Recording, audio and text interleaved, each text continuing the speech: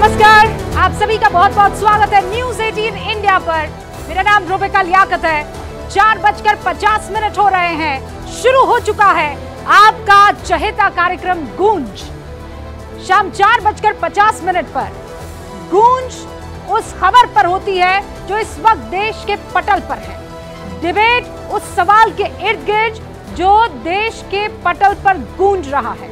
आज का सवाल हिमाचल प्रदेश की राजनीतिक उठापटक से जुड़ा हुआ है। बागियों की भरमार हो गई है और इसीलिए सवाल ये उठ रहा है कि विपक्ष की 2024 में पक्की हार है। पहले मैं आपको इस वक्त की बड़ी खबर बता देना चाहती हूँ। सीएम सुखविंदर सुक्खू ने इस्तीफा देने से इनकार कर दिया है। ये इस वक्त की पाँच बड़ी खबरें हैं जिससे आपको हिमाचल प्रदेश को लेकर रूबरू हो जाना चाहिए। दूसरी तरफ़ सुक्खू के जो मंत्री हैं उन्होंने इस्तीफा दे दिया है, लेकिन जयराम ठाकुर ने यह दावा किया है कि सीएम सुक्खू ने इस्तीफा दे दिया है। अब से कुछ देर पहले न्यूज़ 18 इंडिया से मेरे सहयोगी अमीश देवगन से बातचीत करते हुए सीएम, जो पूर्व सीएम है, जयराम ठाकुर, उन्होंने कहा कि देखिए, सुक्खू की सरकार नहीं रहने वाली है। दूसरी बड़ी बात यह है कि प्रियंका गांधी ये कह रही है कि एमएलए की खरीद फरोख्त हो रही है। लेकिन दूसरी तरफ़ विक्रमादित्य सिंह ये कह रहे हैं कि मेरा, मेरे पिता का यहाँ सम्मान नहीं हुआ, इस पार्टी ने सम्मान नहीं किया, इसीलिए मैं इस्तीफा दे रहा हूँ। तो सुक्खू के मंत्री विक्रमादित्य ने इस्तीफा दे दिया है और दूसरी तरफ़ विधानसभा से पंद्रह बीजेपी विधायकों को निष्कासित कर दिया गया है। ये इस वक्त की बड़ी खबर है। उत्तर भारत में हिमाचल प्रदेश अकेला वो प्रदेश है जहाँ पर कांग्रेस की सरकार है। लेकिन कब तक ये मालूम नहीं है। राज्यसभा चुनाव के बाद हिमाचल विधानसभा की तस्वीर हर वक्त बदलती हुई नज़र आ रही है। बागियों और निर्दलियों के बीच कांग्रेस सरकार फंसी हुई दिख रही है। सुखविंदर सिंह सुक्खू कब तक मुख्यमंत्री हैं? शिमला से लेकर दिल्ली तक पल पल हालात बदल रहे हैं और इसीलिए सवाल करना जायज़ भी है। मंत्री विक्रमादित्य सिंह इस्तीफा देते हैं, भावुक अंदाज में इस्तीफा देते हैं। सीएम पद के लिए नए नामों पर चर्चा शुरू हो जाती है। मुख्यमंत्री की रेस में पूर्व मुख्यमंत्री वीरभद्र सिंह है। उन पत्नी प्रतिभा सिंह, डिप्टी सीएम मुकेश अग्निहोत्री और बागी विधायक राजेंद्र राणा, ये वो तमाम चेहरे हैं सीएम की रेस में जो इस वक्त नज़र आ रहे हैं, लेकिन सुक्खू कह रहे हैं कि मैं इस्तीफा नहीं देने वाला हूँ। सवाल यह है कि अगर सरकार बच भी जाती है तो क्या कांग्रेस अपनी खोई हुई साख वापस ला सकती है। हिमाचल में जो कुछ हो रहा है, वो कांग्रेस के साथ पहला वाकया नहीं है। 2014 के बाद से कांग्रेस ने कई राज्यों में बनी हुई सरकार को खो दिया है। कहीं बगावत हुई, कहीं पार्टी लीडरशिप स्टेट लीडरशिप पर यकीन नहीं कर पाई। अब मैं आपको सिलसिलेवार तरीके से बता देती हूँ कि वो कौन कौन से पल और वो कौन कौन से मौके। सबसे पहले 2016 याद कीजिए अरुणाचल प्रदेश में पेमा खांडू ने पाला बदला। वो कांग्रेस छोड़कर बीजेपी में आ गए। इसके बाद अरुणाचल प्रदेश में बीजेपी की सरकार बन गई। फिर आता है 2018 कांग्रेस ने कर्नाटक में जेडीएस के साथ मिलकर सरकार बनाई, लेकिन 2019 में सरकार गिर गई। बीजेपी की सरकार बनी, जेडीएस बीजेपी के साथ है। 2020 में मध्य प्रदेश कांग्रेस की सरकार गिरी, तब कमलनाथ मुख्यमंत्री थे। इसके बाद शिवराज सिंह चौहान फिर से सीएम बने और अब एक नया सीएम मध्य प्रदेश देख रहा है, लेकिन वो भी बीजेपी का। अब सवाल यह है कि मोदी का मैजिक जनता का टूटता भरोसा और अपने नेताओं के बीच भरोसा खोती देश की सबसे पुरानी पार्टी कांग्रेस। आज उसकी हालत यह हो गई है कि वो सिमट कर दो से तीन राज्यों में रह गई है। आप इस वक्त एक बार फिर से वॉल पर देखिए। मैं एक पूरा मैप आपके सामने रख रही हूँ हिंदुस्तान का। ये जो ऑरेंज रंग में आपको इलाके दिखाई दे रहे हैं ना यहाँ बीजेपी या एनडीए की सरकारें हैं और ये देश का 60 फ़ीसद से ज़्यादा हिस्सा इस वक्त है। इन सभी राज्यों में जो इस वक्त आप ऑरेंज में देख रहे हैं 60 फ़ीसद से ज़्यादा देश की पॉपुलेशन रहती है। बाकी नीले रंग में जो आपको नज़र आ रहा है, नीले रंग वो राज्य है जहाँ कांग्रेस या फिर गैर बीजेपी सरकारें इस वक्त चल रही हैं। हमने हिमाचल प्रदेश को ब्लिंक कर दिया है इसलिए क्योंकि यहाँ की स्थिति अभी इनफैक्ट वो ब्लिंक होता हुआ आपको नज़र नहीं आ रहा है लेकिन वहाँ की स्थिति अभी कुछ कही नहीं जा सकती है क्योंकि यहाँ कांग्रेस सरकार पर संकट आया हुआ है। जम्मू और कश्मीर और लद्दाख अभी केंद्र शासित राज्य है इसीलिए वहाँ कोई रंग आपको नज़र नहीं आएगा। कांग्रेस ने पा, जो पार्टी है उसमें बगावत है उसमें ये कहा है कि ये वो लोग हैं जिन्होंने पहले तो सत्ता की मलाई खाई और अब जब वक्त आया साथ देना तो भाग रहे हैं। लेकिन बगावत होने की वजह से या तो कांग्रेस ने उन राज्यों में सत्ता गवा दी है या फिर पार्टी के बड़े लीडर उसके हाथ से निकलते हुए नज़र आए हैं। पार्टी कुछ नहीं कर पाई तब। अब तो हिमाचल प्रदेश में भी बागियों ने झंडा उठा लिया और ऐसे में सवाल यह है कि क्या बागियों की भरमार के बीच लोकसभा में विपक्ष की पक्की हार के संकेत मिल रहे हैं क्या? और सवाल तो यह भी है कि कांग्रेस के नेताओं की तरफ़ से बेवफाई है या उनकी रुसवाई की वजह से ये घड़ी आई है। इस वक्त की बड़ी खबर भी आपको बता देना चाहती हूँ। न्यूज़ 18 इंडिया पर जयराम ठाकुर ने क्या कहा है? उन्होंने कहा है कि सुखू सरकार अब ज़्यादा दिन टिकने वाली नहीं है। कांग्रेस ने बहुमत खो दिया है। कांग्रेस ने अपने विधायकों को साथ नहीं रखा। जयराम ठाकुर ने न्यूज़ 18 इंडिया से अभी कुछ देर पहले एक्सक्लूसिव बातचीत की थी मेरे सहयोगी अमीश देवगन ने। उनसे ये सवाल पूछा था कि क्या इस वक्त स्टेटस है? तो उन्होंने ये कहा कि सरकार अब सत्ता में रहने का हक खो चुकी है। और अब मैं गूंज में डिबेट की शुरुआत कर रही हूँ। लेकिन आज जो बड़े सवाल जिनके इर्द गिर्द गूंज की डिबेट रहेगी वो ये है कि सीएम बदलने से कांग्रेस की मुसीबत खत्म होगी, क्योंकि सवाल ये किया जा रहा है कि हम सीएम से परेशान है उन बागी विधायकों की तरफ़ से। सवाल यह कि कांग्रेस नेतृत्व को बागी हमेशा ब्लैकमेल क्यों करते हैं? राज्य नहीं संभलते, केंद्र में क्या कर पाएगी कांग्रेस? ये वो सवाल है जिनका जवाब देने के लिए खास मेहमानों को इनवाइट हम कर चुके हैं। इन सवालों का जवाब देने के लिए आज गूंज में शामिल हो रहे हैं। बीजेपी के राष्ट्रीय प्रवक्ता ज़फ़र इस्लाम साहब। राजनीतिक विश्लेषक अब से कुछ ही देर में हमारे साथ जुड़ने वाले हैं और दुष्यंत नागर, जो कि कांग्रेस का पक्ष मजबूती के साथ डिबेट्स में रखते हैं, हमारे साथ जुड़ चुके हैं और संजय कुमार जी भी के हमारे साथ इस डिबेट में हिस्सा ले रहे हैं। शुभरास्ता की तस्वीर आप देख रहे हैं, कुछ ही देर में वो भी हमारे साथ जुड़ने वाली हैं। लेकिन ये डिबेट शुरू करूँ, उससे पहले एक सवाल आप सबसे भी है। और सवाल ये, क्योंकि आप दर्शक के तौर पर, व्यूअर के तौर पर, वोटर के तौर पर हक रखते हैं कि इन सवालों का जवाब दे। हिमाचल प्रदेश में कांग्रेस की सरकार बचेगी? हाँ कि नहीं? और आप में से कई ऐसे हो सकते हैं जो कह के, कह नहीं सकते हैं। तो इसका रिज़ल्ट हम अंत में अनाउंस करेंगे। आप ट्विटर पोल पे हिस्सा ले सकते हैं। तब तक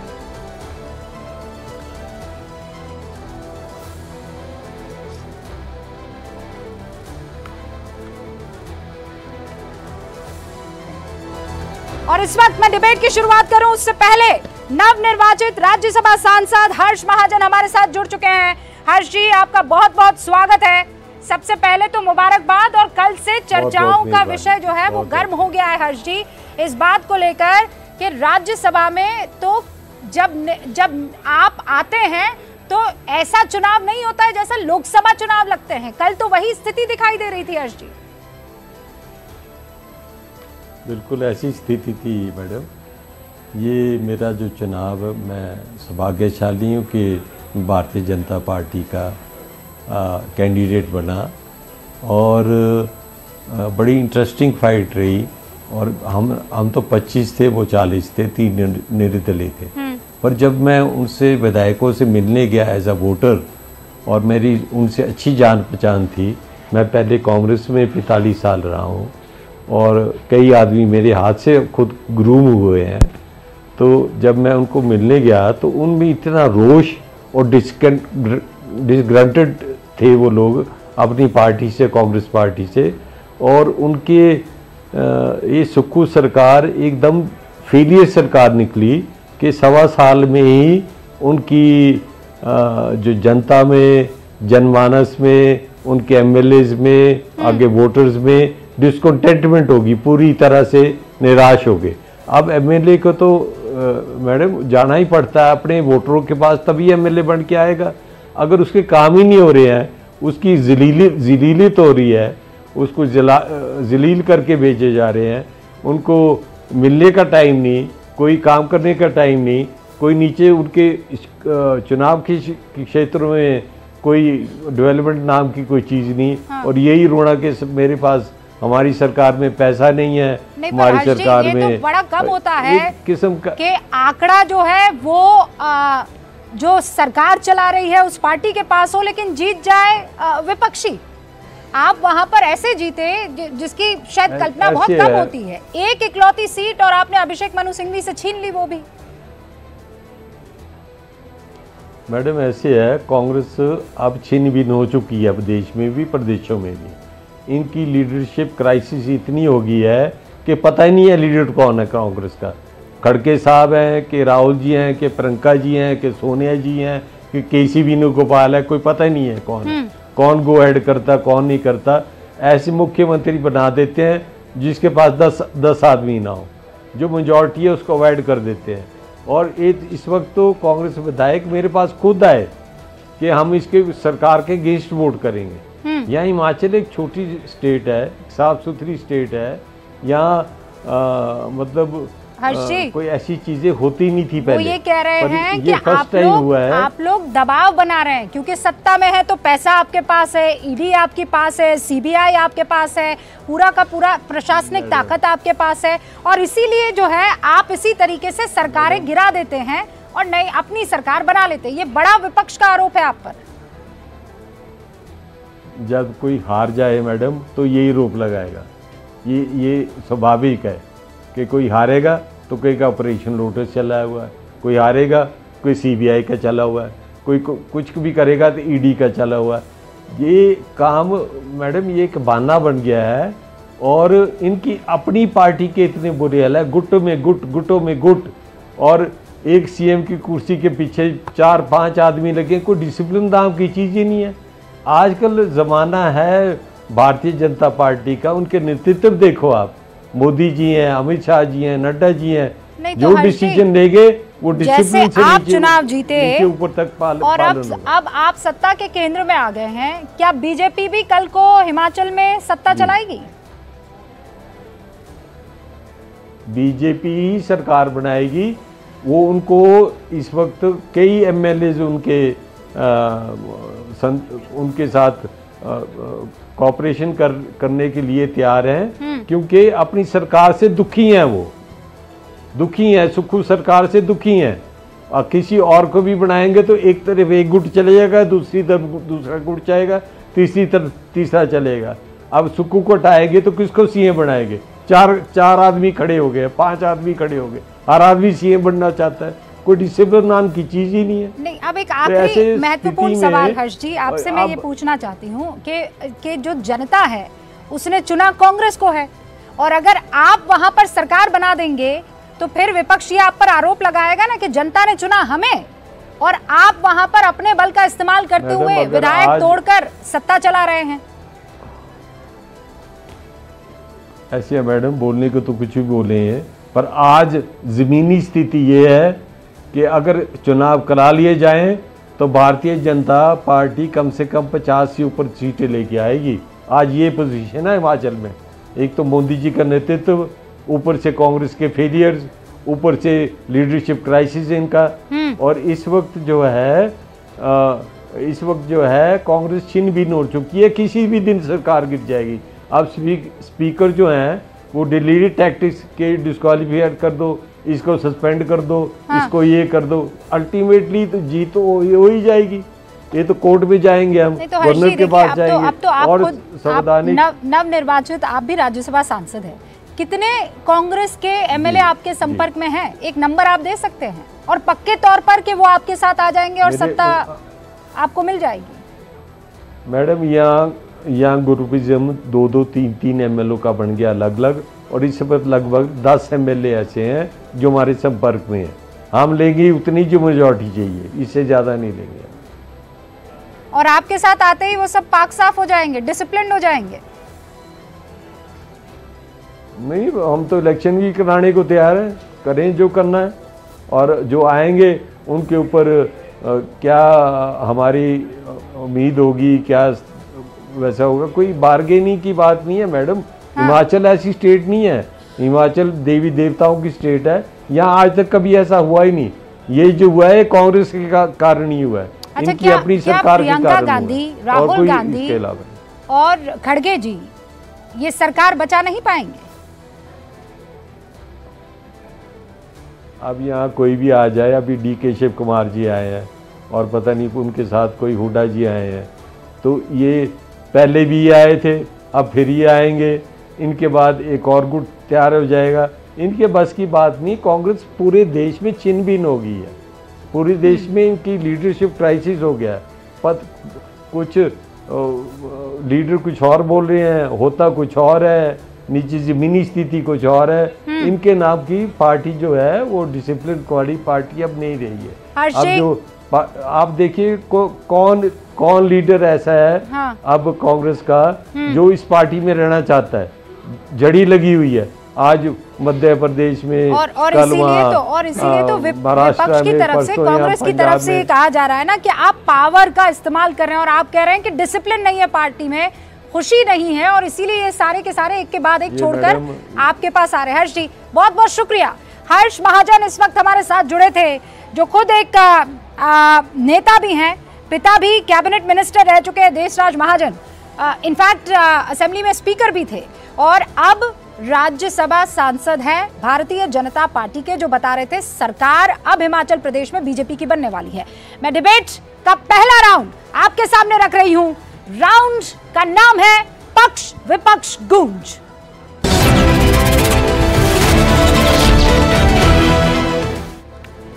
ज़फ़र इस्लाम साहब, पहला सवाल आपसे, एक मिनट में जवाब दीजिएगा। सवाल यह है कि आप एक साल तो चल लेने दीजिए। किसी की सरकार सरकार में आते हैं, जनता चुनती है और आप उनको तोड़कर अपनी इतना पावर की भूख क्यों है, ज़फ़र साहब? देखिए, कोई पावर की भूख नहीं। आपने हर्ष महाजन जी को सुना, उन्होंने कहा कि उन्होंने धन्यवाद दिया विधायकों का, जिन्होंने वोट दिया भारतीय जनता पार्टी को, उनके प्रत्याशी को, हर्ष महाजन जी को। क्यों दिया? उसमें आप प्रतिभा जी से सुन लीजिए, कांग्रेस के एमएलए हैं प्रतिभा सिंह, उनसे सुन लीजिए, आप उनके बाकी एमएलए से सुन लीजिए कि वो लोग जो है, आपसी गुट में बटे हुए हैं। सबको सत्ता चाहिए, सबको मुख्यमंत्री बनना है, सबको कुछ पावर चाहिए या सबको ये लग रहा है कि जो जनता के, को वायदे किए थे, वो वायदे पूरे नहीं किए हैं। भाई, जनता को जो वायदे पूरे किए, उतना तो पूरे करने चाहिए थे। लोगों को वायदा करके आए, लेकिन इन्होंने वायदा नहीं पूरा किया है। और जो मुख्यमंत्री ने इन लोगों से वायदा किया वो भी पूरा नहीं कर पाए। तो जैसा हर्ष महाजन जी कह रहे थे कि भाई अगर लोगों के बीच में जाना है तो ज़ाहिर है जो वायदे किए उसको पूरा करना चाहिए।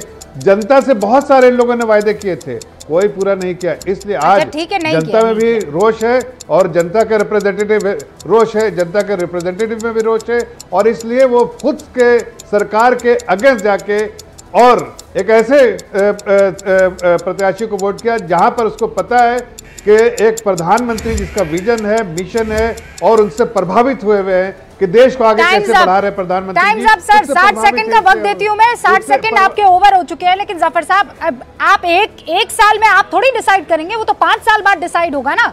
कि जनता ने पसंद किया कि नहीं किया? अब अब अब एक सेकंड एक एक मिनट का मौका तो- मैं दे रही हूँ। राजनीतिक विश्लेषक कांग्रेस का पक्ष रखते हैं। दिल में उनके कांग्रेस बसती है रगों में शायद कांग्रेस ही दौड़ती है। दुष्यंत नागर हमारे साथ जुड़ चुके हैं। दुष्यंत नागर जी दिल पर हाथ रखकर रख, बोलिए और ये हाथ कांग्रेस वाला हाथ रखिएगा। आप लोग बड़े नेताओं को आप लोग लॉयल नेताओं को संभाल नहीं पाते हैं। मान लीजिए। देखिए हम दिल पे हाथ रख के झूठ नहीं बोलते। जैसे प्रधानमंत्री जी ने बोला था ना, दिल पे हाथ रख के, एक अकेला सब पे भारी, एक अकेला सब पे भारी। हम इस तरीके की बातें नहीं करते, हम महात्मा गांधी के विचारधारा को फॉलो करने वाले लोग हैं, लोगों से किए हुए वादों को पूरा करने वाले लोग हैं। तो हमारे यहाँ ये सब नहीं चलता जी नौटंकी। मैं भारतीय जनता पार्टी के हमारे साथी जो कह रहे थे, उनकी कुछ बातों का जवाब देना चाहता हूँ। और जो पूर्व में आपने राज्यसभा के सदस्य महोदय को जोड़ा, जो कह रहे कि पूरे देश में कांग्रेस टूट रही है, कोई लीडरशिप नहीं है। भाजपा आसन्न आने वाले लोकसभा चुनावों की आसन्न हार को जानकर, समझकर गुणा गणित बिठाकर और बौखलाकर इस तरह की कार्य कर रही है। इन्होंने पहले झारखंड में सरकार को अस्थिर करना चाहा, सरकार गिरानी चाहिए राष्ट्रपति शासन लगाना चाहा, ये नाकामयाब हुए। अब वही काम ये लोग हिमाचल प्रदेश में कर रहे हैं। हिमाचल प्रदेश में मुँह की खा के बैठेंगे। सुक्खू जी के पास में विधानमंडल दल के अंदर पूरा बहुमत जो कांग्रेस वाला हाथ आपने दिल पे रखा था अब आपको अपने मुँह पर रखना पड़ेगा। साठ सेकंड ओवर हो गए हैं। मैं ओपन करूँगी डिबेट थोड़े टाइम में पर एक सेकंड के लिए। मैं अब चुनाव विश्लेषक सिफोलॉजिस्ट को डायरेक्टर लोकनीति सीएसडीएस के इनफैक्ट सीएसडीएस में प्रोफेसर भी हैं बच्चों को पढ़ाते हैं। संजय कुमार जी को। ये निष्पक्ष गूंज होगी एक्सपर्ट की गूंज। मैं अब उनसे सवाल पूछ रही हूँ आपने दोनों को सुन लिया ज़फ़र इस्लाम को भी दुष्यंत नागर को भी। संजय जी एक्सपर्ट की गूंज पहले दर्शकों के सामने।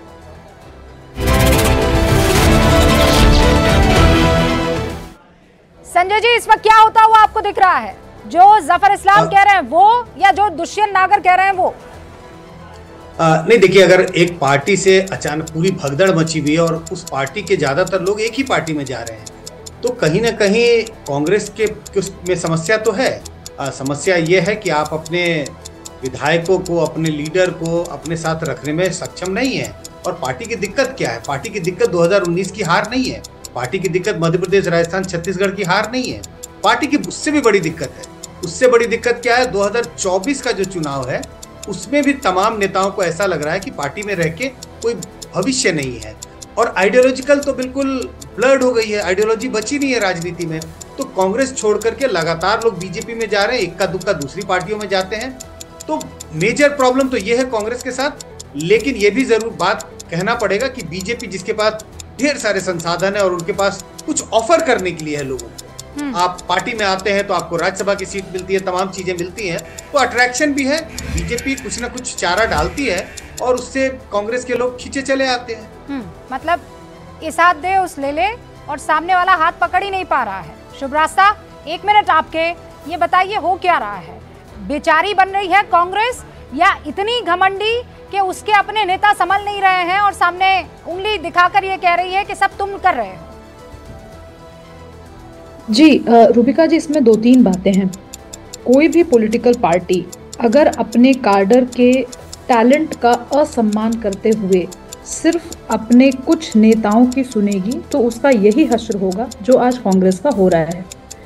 और इस कड़ी में बहुत सारे एपिसोड्स हैं। उस एपिसोड में बस एक ये एपिसोड भर जुड़ा है। ये कोई बहुत अचंभित करने वाली, कोई बहुत ही आकस्मिक बात हुई हो, ऐसा नहीं है। ऐसा होता आ रहा है और जब से भाजपा की सरकार दोबारा से चुन करके आई है सेंटर में तब से ये लगातार सिलसिला चल रहा है। दूसरी बात ये है कि ये बात भी बिल्कुल ठीक है कि अगर कांग्रेस पार्टी अपने विधायकों का अपने सांसदों का अपने ही कॉरपोरेटर्स को, को संभाल नहीं पा रही स्टेट लेवल पर तो वो किसी भी दूसरे पॉलिटिकल पार्टी पे यहाँ पे वो भाजपा है या फिर कोई भी X Y Z political party पे उसका ठीकरा नहीं फोड़ सकती ये गलत है। तीसरी चीज़ ये हम भाजपा को ये भले ही सीख दे सकते हैं कि आप अपने मैंडेट में संतुष्ट रहिए और नैतिकता का साथ लेते हुए दूसरे टाइम्स अप मैं मैं आगे आपसे बात करूँगी लेकिन इस वक्त एक बड़ी खबर आ रही है। कांग्रेस के पर्यवेक्षक शिमला पहुँच गए हैं। भूपेंद्र हुड्डा डी के शिव कुमार शिमला पहुँच गए हैं। थोड़ी देर में कांग्रेस विधायकों के साथ बैठक होने वाली है। ये बड़ी खबर मिल रही है डी के शिव कुमार और अब से पहले हर्ष महाजन भी हमें बता रहे थे कि डी के शिव कुमार पहुँचे हैं लेकिन अब कोई भी पहुँच जाए सरकार को नहीं बचाया जा सकता है। बीजेपी बड़ी कॉन्फिडेंट इस वक्त नज़र आ रही है। पर्यवेक्षक शिमला पहुँचे हैं, लेकिन अब बड़ा सवाल यह है कि ये पर्यवेक्षक वहाँ पहुंचकर करेंगे क्या? क्योंकि तीन अलग अलग खेमे यहाँ पर दिखाई दे रहे हैं। मैं चाहती हूँ हमारे रिपोर्टर हमारे साथ जुड़े, लेकिन उससे पहले यहाँ इस वक्त बड़ी खबर आप देख लीजिए। थोड़ी देर में कांग्रेस विधायकों के साथ बैठक होने वाली है।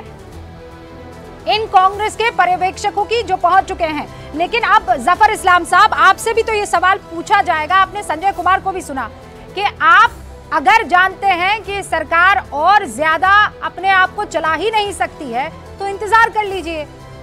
विधायक संपर्क में आते हैं और आप इतने भोले हैं कि उनके संपर्क को एकदम सहजता से स्वीकार भी कर लेते हैं। रूबिका जी, देखिए, मैंने पहले भी कहा हम किसी पार्टी को तोड़ना नहीं चाहते हैं। ये पार्टी के खुद विधायक, आपने सुना हर्ष महाजन जो कि खुद चल कर आए और उन्होंने, उनको, उनमें रोष था।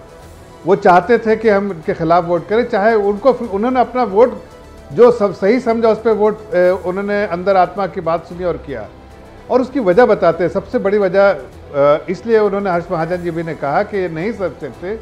उसकी वजह है कि एक पार्टी का जो नज़रिया है वो ये है और उसका जो पूरा कैलकुलेशन ये है कि पहले परिवार परिवार फ़र्स्ट पार्टी सेकंड और सेल्फ जो है वो, नेशन जो है वो लास्ट और यहाँ पर दूसरा है जो हमारे पार्टी का जो सोचना है वो नेशन फ़र्स्ट परिवार सेकंड और सेल्फ लास्ट तो इस कारण से वो परिवार पे इतना फोकस है और हम जनता के पर फोकस कर रहे हैं. अब जो जनता की सेवा करना चाहता है उसको तो एक प्लेटफॉर्म मिलना चाहिए ना? वो चुन कर आया लेकिन वहाँ के उसके मुख्यमंत्री भी है। मुख्यमंत्री नहीं सुन रहे हैं। तो ज़ाहिर है देखिए भारतीय जनता पार्टी अक्सर ये सवाल उठा रही है। जब भी कोई कांग्रेस का नेता भारतीय जनता पार्टी में ज्वाइन करता है तो ये लोग कहते हूँ, हैं कि कांग्रेस का नेतृत्व मज़बूत नेतृत्व नहीं है। कांग्रेस के नेतृत्व से असंतुष्ट होके कांग्रेस के लीडर भाजपा ज्वाइन कर रहे हैं। अरे भाई आदरणीय श्री मल्लिकार्जुन खड़गे जैसा अनुभवी नेतृत्व किसी पार्टी के पास नहीं है। पचास साल का उनका राजनीतिक जीवन है। लोकसभा में वो नेता रहे हैं, विधानसभा में नेता प्रतिपक्ष रहे हैं, कैबिनेट मंत्री रहे हैं, वर्तमान में राज्यसभा के सदस्य हैं। एक ऐसी कम्युनिटी से आते हैं कि जिन, जिन्होंने लंबा संघर्ष किया है भारत में बराबरी पाने के लिए। एक फ्रीडम फाइटर की फैमिली से आते हैं। उन्होंने अपने परिवार को किस विषम परिस्थितियों से निकाल के और वो इस मुकाम पे पहुँचे हैं। हर कार्यकर्ता का दर्द समझते हैं खड़गे जी। उसके बाद भी भाजपा अक्सर ये कहती है, कांग्रेस के नेतृत्व की लोग, नेतृत्व की वजह से लोग पार्टी छोड़ रहे अरे नहीं छोड़ रहे। आप लोग अनैतिक कार्य करके ईडी सीबीआई धन का बेजा इस्तेमाल करके कांग्रेस को तोड़ रहे हो और वो क्यों आप ये काम कर रहे हो? आज आपको हर्ष महाजन जी के बारे में आपने नहीं बताया कि हर्ष महाजन जी पूर्व में कांग्रेस के लीडर थे। आप कांग्रेस के नेताओं को आज मजबूर हो राज्यसभा में भेजने के लिए। अशोक चौहान को भेजा हर्ष महाजन को भेजा और दो नेताओं को आपने महाराष्ट्र में भेजा। लेकिन आप आप इसलिए भेज रहे हैं दुष्यंत नागर जी आप इसलिए भेज नहीं रहे हैं। समर्थन आप नहीं ये बताइए आपको भरोसा अच्छा नहीं है अच्छा एक सेकंड आप ये चुनाव दुष्यंत नागर मेरी बात तो सुनिए। आपको हार आज ज़फ़र इस्लाम आपको ऑफ़र देंगे तो आप मान जाएँगे। जीतना चाहते हो। आज ज़फ़र इस्लाम आपको अगर ऑफ़र देंगे आप मान जाएँगे? मैं आओ भाई, आप ज़फ़र इस्लाम तो अपना भाई है कांग्रेस से ही गया है। आप तो कांग्रेस से ही गए हैं। नहीं नहीं आप तो अपने भाई हैं। तो कांग्रेस से ज़फ़र गए तो अपना भाई है अपनी बिरादरी का आदमी है। हाँ। आप आपको ऑफ़र दे रहे आइए ना। देखिए मैं मैं अगर किसी राजनीतिक दल को ज्वाइन करूँगा तो मैं अवश्य विचार करूँगा इनके ऑफ़र पे। अगर ये मुझे कोई ऑफ़र देंगे तो क्यों ना करूँगा? हाँ, लेकिन तो मैं आप... तो देश की सेवा महात्मा गांधी की तरह करना चाहता हूँ।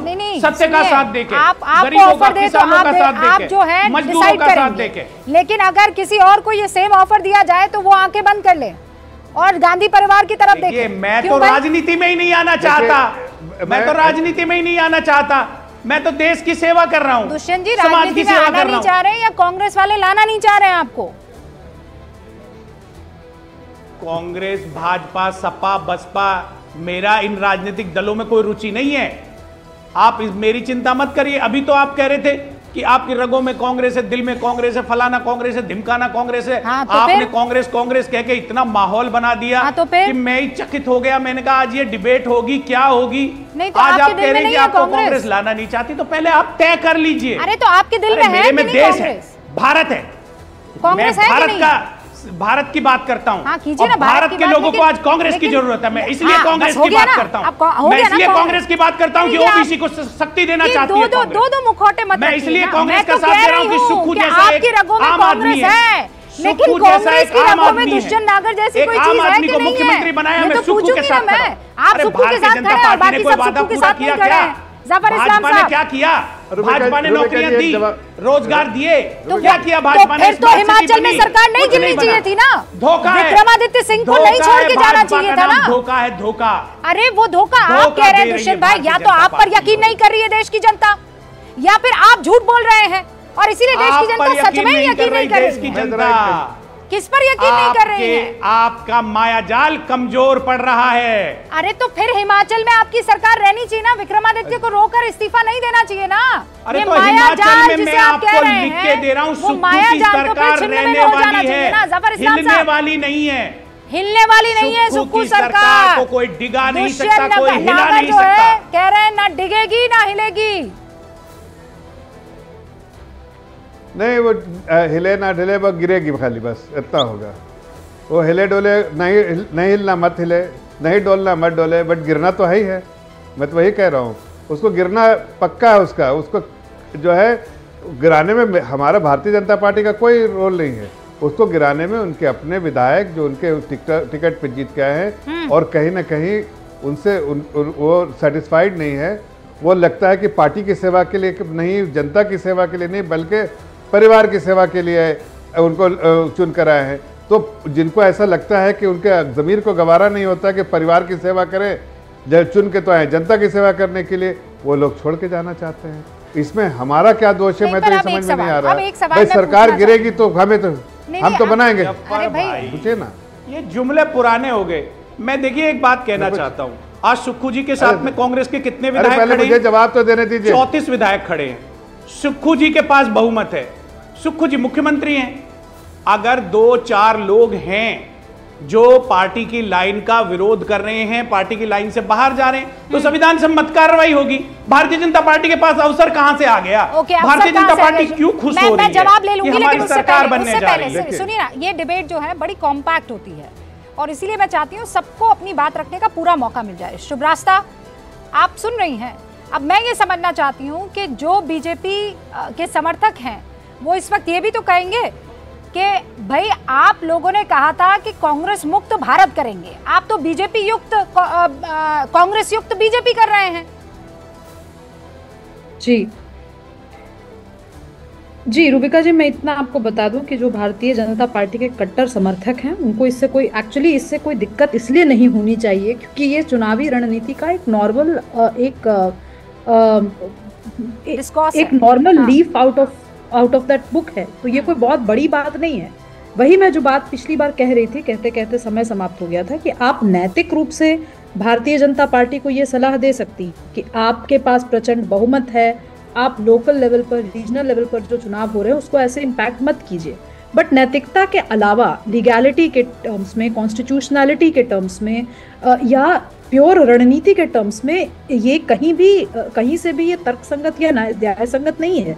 भाई भारतीय जनता पार्टी एक पॉलिटिकल पार्टी है वो कोई एनजीओ हम्म। नहीं है हम्म। वो कॉर्पोरेट सोशल रिस्पॉन्सिबिलिटी के तहत रन होता हुआ कोई ऑर्गेनाइजेशन नहीं है हर पॉलिटिकल पार्टी का एक अलग मैंडेट होता है उसका एक तरीका अलग होता है काम करने का हाँ। और इस तरीके से सरकारें कई बार बनी है बिगड़ी है और ऐसी सरकारें बनने के बाद बहुत सारे ऐसे इश्यूज़ हैं जनता हाँ, के हाँ. जिन पे काम भी किया गया है अब आप एक बात बताइए रूबिका जी ये जो भारतीय जनता पार्टी ने कुछ पोल प्रोमिस मुझे लगता है पिछले चार दशकों से की हुई थी लोगों के सामने।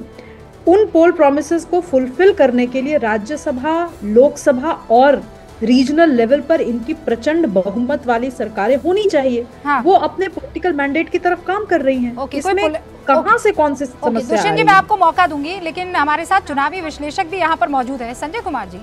अब सवाल ये है सिर्फ़ कि 10 सेकंड का हाँ। ही। मुझे समय दे दीजिए मैं ज़्यादा समय नहीं मांग रहा हूँ। मैं सिर्फ़ ये कहना चाहता हूँ कि भारतीय जनता पार्टी की पहली सरकार उन्नीस सौ सड़सठ में मतलब जनसंघ की पहली सरकार उन्नीस सौ सड़सठ में दल बदल करके बनी थी। ठीक है। गोविंद नारायण सिंह जी मुख्यमंत्री बने थे मिश्रा जी को हटा के वो ही अनैतिक तरीके से बने थे। ठीक है सर जिसको आप महिमा मंडित कर रहे हैं कि एनजीओ नहीं है फलाना नहीं है धिमकाना नहीं है। दुष्यंत जी दस सेकंड बोलकर आपने जो है यहाँ चालीस सेकंड ले लिए। अभी आप आप ये डिबेट शो में सेकंड्स ज़्यादा मत लीजिए ना। मैं सुनिए आपको लेनी है तो ज़मीन पर जाकर वोट लीजिए। उससे आपकी सरकार बनेगी। यहाँ टाइम लेने से थोड़ा ही कुछ हो जाएगा। संजय जी लेकिन ये जो इस वक्त हो रहा है जनता जब आपने, अपने वेइंग स्केल पर इसे देखेगी तो किस तरीके से देखेगी? वो वादा याद करेगी कि कांग्रेस मुक्त भारत होगा या वो वादा याद रखेगी कि हमें विकास किसी भी कीमत पर आप तक पहुंचाना है? नहीं, रुबिका रुबिका जी, जो जिस बात का ज़िक्र हो रहा है कि ये कांग्रेस युक्त बीजेपी होते जा रही है और इसको अगर क्रिटिकल नज़रिए से देखा जाता है, ये वैसे ही वही लोग हैं जो भाजपा के एक तरह से विरोधी हैं, वो इन बात की चर्चा करते हैं। जो भाजपा के समर्थक हैं जो उनके पार्टी के लोग हैं जो उनके वोटर हैं उनको इस बात से बहुत फ़र्क नहीं पड़ता कुछ लोग हैं जिन्हें लगता है कि शायद ये ठीक नहीं है पार्टी के अंदर में कुछ लोग तो होंगे क्योंकि जब ओवरसाइज पार्टी हो जाएगी और एक ही सीट पर कई दावेदार होंगे तो हम्म। अंदर में अंदरूनी थोड़ी सी तो खींचतान होगी हम्म। लेकिन कुल मिला के अगर जनता के बीच में माहौल देखें तो इससे बीजेपी के जनाधार पे कोई फ़र्क नहीं पड़ता लोग इसलिए ऐसा नहीं है कि नेता आ रहा है वो साथ में जनाधार ला भी रहा है आप चारों का बहुत बहुत शुक्रिया वक्त निकालने के लिए। गूंज में इतना ही, कल फिर आपसे मुलाकात होगी, लेकिन तब तक हिमाचल की तस्वीर क्या होगी, कोई नहीं जानता।